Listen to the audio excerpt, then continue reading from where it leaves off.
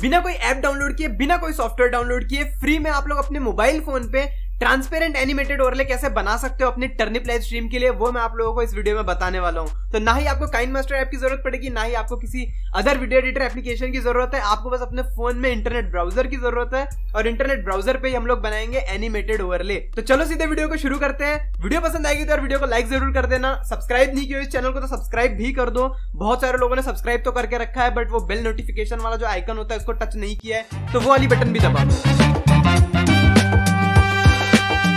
तो सबसे पहले तो आप लोग अपने फ़ोन में ब्राउज़र ओपन कर लेना है और वहाँ पे आप लोगों को कैपिंग डॉट कॉम की वेबसाइट पे जाना है। ये वेबसाइट पे जाने के बाद यहाँ पे आप लोगों को साइन इन कर लेना है। गूगल से अपने साइन इन कर लो। साइन इन कर लोगे तो वाटर मार्क नहीं आएगा। साइन इन नहीं करोगे तो वाटर मार्क आएगा। तो साइन इन कर लो। और साइन इन करने के बाद यहाँ पे आपको न्यू कंटेंट पे टच करना है। न्यू कंटेंट पे टच करने के बाद यहाँ पे आप लोगों को start with a blank canvas पे टच करना है। स्टार्ट विद ब्लैंक कैनवस पे टच करने के बाद यहाँ पे आपको एडिट बैकग्राउंड वाले ऑप्शन पे जाना है। एडिट बैकग्राउंड वाले ऑप्शन को टच करने के बाद sixteen is to nine sixteen is to nine select कर लो। उसके बाद आपको कुछ ऐसा दिखाई देगा। अब यहाँ पे हम लोग अपने ओवरले का एक बैकग्राउंड सिलेक्ट करेंगे तो मेन्यू में जाएँगे और वहाँ पे जाने के बाद वीडियोज़ वाले ऑप्शन में जाएँगे और वहाँ पे सर्च कर लेंगे स्मोक या फिर पार्टिकल आपको जैसा भी अपने एनिमेटेड ओवरले का बैकग्राउंड चाहिए, वैसा आप लोग सर्च कर लो। मैंने यहाँ पे पार्टिकल्स सर्च कर लिया है। आपको अगर स्मोक चाहिए तो आप लोग स्मोक भी सर्च कर सकते हो, या फिर अपने हिसाब से कुछ भी सर्च करना है कर सकते हो। तो यहाँ पे मैं पार्टिकल्स रिलेटेड एक वीडियो को सिलेक्ट कर लेता हूँ। तो यहाँ पे नीचे जो वीडियो दिखाई दे रही है, इसको मैं सिलेक्ट कर लेता हूँ पार्टिकल्स वाली वीडियो को।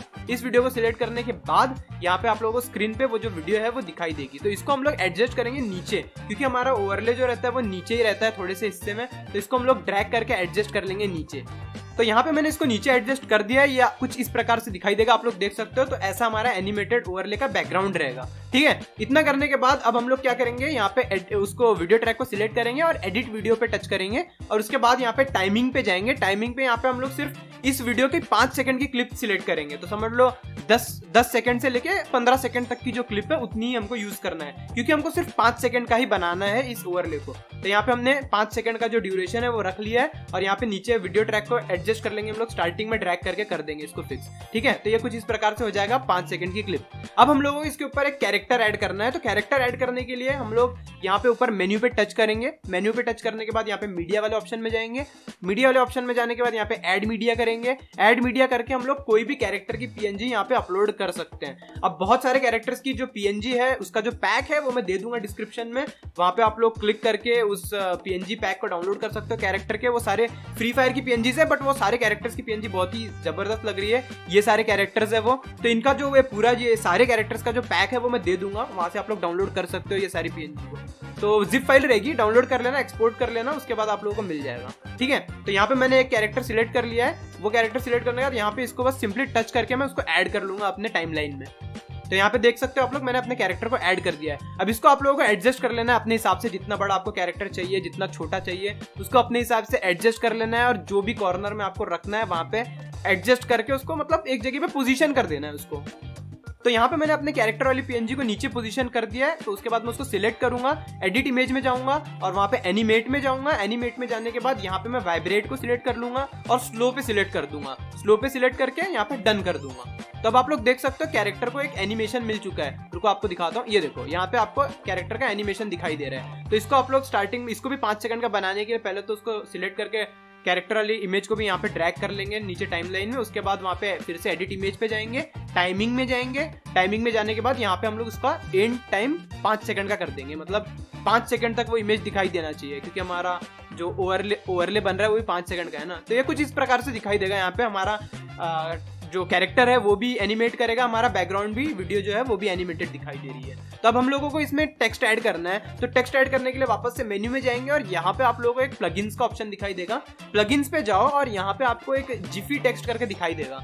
वहाँ पे आप लोग सिलेक्ट कर सकते हो और यहाँ पे आप लोगों को जो भी टेक्स्ट को एनिमेट करना है, वो टेक्स्ट यहाँ पे लिख लो। जैसे मैं एक्सपोजर लिख लेता हूँ यहाँ पे। एक्सपोजर में लिख दूँगा और एनिमेट पे क्लिक कर दूँगा। एनिमेट पे क्लिक करने के बाद यहाँ पे एक्सपोजर नाम के बहुत सारे एनिमेटेड टेक्स्ट जो है, वो जनरेट हो जाएँगे। जो खुद ही एनिमेट हो रहे हैं ऑलरेडी तो इनमें से आपको अगर ऐसे करके यूज़ करना है तो आप ऐसे भी यूज़ कर सकते हो। और एक तरीका है, वो भी मैं आप लोगों को आगे बताऊँगा।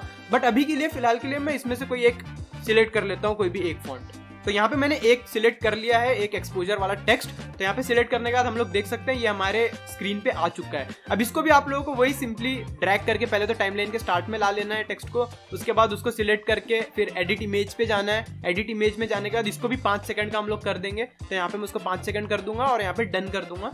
डन करने के बाद में अब यहाँ पे इसको भी हम लोग रिसाइज कर लेंगे अपने हिसाब से। जैसा भी आपको रिसाइज करना है, वैसा आप लोग रिसाइज करके उसको अपने ओवरले में जहाँ पे भी पोजीशन करना चाहते हो, वहाँ पे पोजीशन कर सकते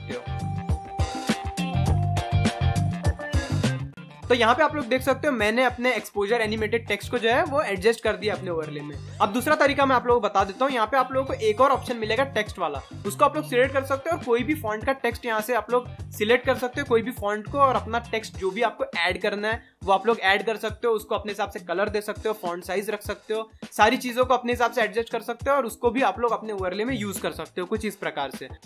फिर वहाँ से टेक्स्ट ऐड करने के बाद में हमको उसको एनिमेट करने के लिए उसको सिलेक्ट करना है एडिट टेक्स्ट पे जाना है और यहाँ पे आप लोगों को एनिमेट पे जाना है एनिमेट में जाने के बाद यहाँ पे आप लोग जो भी एनिमेशन देना चाहते हो वो सिलेक्ट कर सकते हो। तो मैं यहाँ पे स्लाइड सिलेक्ट कर लूँगा और बोथ सिलेक्ट कर लूँगा इंट्रो आउट्रो बोथ और यहाँ पे डन कर दूँगा। तो अब आप लोग देख सकते हो, हमारे टेक्स्ट को भी एक एनिमेशन मिल गया है। हमारा जो टेक्स्ट है, वो भी स्लाइड होके ऊपर आएगा और जाते हुए स्लाइड होके नीचे जाएगा। तो कुछ इस प्रकार से आप लोग अपना पूरा ओवरले बना सकते हो और आपको जो भी ऐड करना है, वो सारी चीज़ें भी आप लोग ऐड कर सकते हो। जितना इंटरेस्टिंग आप लोगों को बनाना है, उतना इंटरेस्टिंग आप लोग बना सकते हो। तो जैसे आपको ओवरले पूरा बन जाएगा, जब आपको लग रहा है पूरा रेडी हो चुका है, उसके बाद आपको सेटिंग वाले आइकन पे टच करना है ऊपर और यहाँ पे जिप सिलेक्ट कर लेना है। आउटपुट फ़ाइल में जिप सिलेक्ट कर लोगे, उसके बाद में हम लोगों को अब सबसे मेन काम इसको ट्रांसपेरेंट करने के लिए सेटिंग वाले आइकन पे वापस से टच करना है और यहाँ पे टच करने के बाद में बैकग्राउंड में आपको ट्रांसपेरेंट सिलेक्ट कर लेना है। ट्रांसपेरेंट बैकग्राउंड आप लोग जैसे सिलेक्ट कर लोगे तो आप लोग देख सकते हो कि हमारा जो ओवरले है, वो ट्रांसपेरेंट अब हो चुका है। तो अब ये ट्रांसपेरेंट ओवरले हो चुका है तो इसको डाउनलोड करने के लिए आपको ऊपर एक्सपोर्ट जिप वाला जो ऑप्शन है,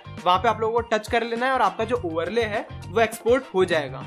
तो अब आप लोगों ने अपना एनिमेटेड ओवरले बना के अपने फ़ोन में डाउनलोड कर लिया है। अब उसको टर्निप में कैसे ऐड करना है, वो भी मैं आप लोगों को बता देता हूँ। आप लोगों को टर्निप में ऐसा कुछ ऑप्शन दिखाई देता है, यहाँ पे आपको टच करना है। एड कस्टम ओवरले वाले ऑप्शन पे यहाँ पे आपको टच करना है और वहाँ पे टच करने के बाद में आप लोगों को अपना जो जो आपने डाउनलोड किया है अभी जिप फ़ाइल जो एनिमेटेड ओवरले की जो जिप फ़ाइल है, उसको सिलेक्ट कर लेना है और उसको वहाँ पे ऐड कर देना है। तो बस हो गया आपका एनिमेटेड ओवरले एड अब आप लोग लाइव स्ट्रीम कर सकते हो अपने एनिमेटेड ओवरले के साथ में। तो गाइज़ उम्मीद करता हूँ कि आपको वीडियो देख के मज़ा आया होगा और आपको समझ में आएगा कि आपको ट्रांसपेरेंट एनिमेटेड ओवरले कैसे बनाना है अपने टर्निप लाइव स्ट्रीम के लिए जिप फ़ाइल कैसे बनाना है उसको, वो सारी चीज़ें आपको समझ में आ गई होगी। वीडियो अच्छी लगी तो वीडियो को लाइक ज़रूर कर दो सब्सक्राइब नहीं किया तो सब्सक्राइब भी कर दो।